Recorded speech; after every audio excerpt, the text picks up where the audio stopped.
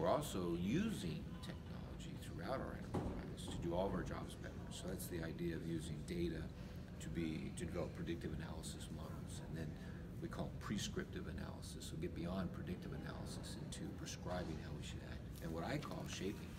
So let's get away from just predicting or even being prescriptive to actually shaping the environment to change the requirement. And that's how we're using technology and data in our enterprise. So in different pieces of it, there are all kinds of initiatives going on. The maintenance community is looking at using mobile devices to do maintenance better on airplanes. They can reach back to industry or to their own maintenance capabilities to solve problems and keep airplanes in the air. In our enterprise, we're working on increasing the capacity on a base to have connectivity so everybody from families to military people have better you know, virtual networks to Right. operate within. Um, we're leveraging the cloud like everybody. You just have to say cloud and you're pretty much in with what everybody's saying.